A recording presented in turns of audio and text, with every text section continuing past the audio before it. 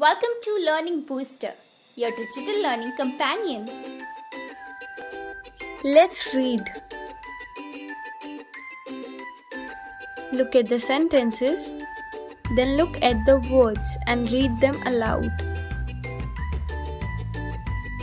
Jim has a pup. She puts the pup in the tub. There is a mug, jug, and cup by the tub. A bug is near the tub.